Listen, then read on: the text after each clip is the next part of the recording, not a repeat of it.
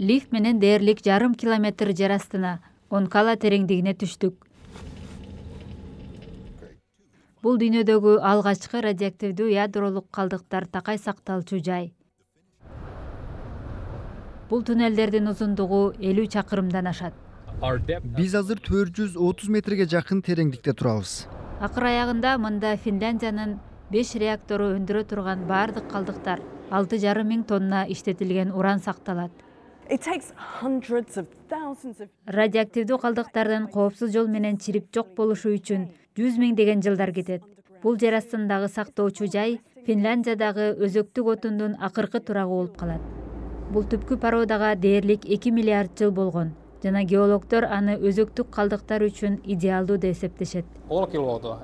Уолкилуото жана бүткүл батыш финляндия геологиялык жактан абдан туруктуу аймакта жайгашкан бизде дээрлик жер титирөө болбойт. Аба ырайы да биздин долбоор үчүн ыңгайлуу. Алыстан башкарылуучу техника беш метрлик жер канистрлерди таштагы тешиктерге салып андан соң чопо жана калың бетон тыгыны менен бекитет. Көпчүлүк радиоактивдүү калдыктар жер үстүндөгү бассейндерде убактылуу сакталып турат. Ал эми дүйнө жүзү боюнча эки жүз алтымыш миң тоннага жакын калдык жыйылып жатат бирок финляндия аны мындай геологиялык жайга коюу коопсузураак чечим болот дейт.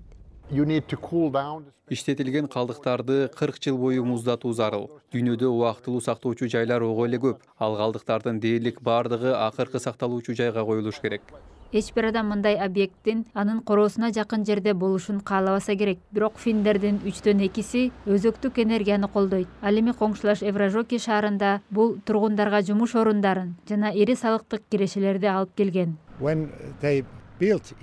Аны куруп жатканда бул жактан көп жумушчулар алынды. Акчалай пайда көрдүк. айлананы караңыз мунун баардыгы ошонун пайдасы. Ал бизге баарын берди бул факт.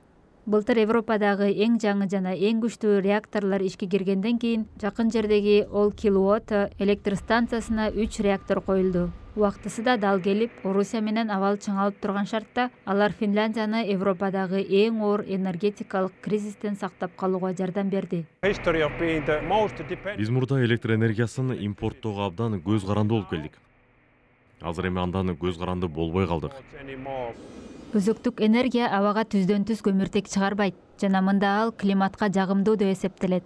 Ал тургай финляндиянын жашылдар партиясы да муну колдоду. Бирок кээ бир экологдор коркунучтар дале бар деп эсептейт. Булар көптөгөн муундан муунга өтүп кам көрүлүшү керек болгон калдыктар. Ошондуктан аны туруктуу болот деп айтуу кыйын.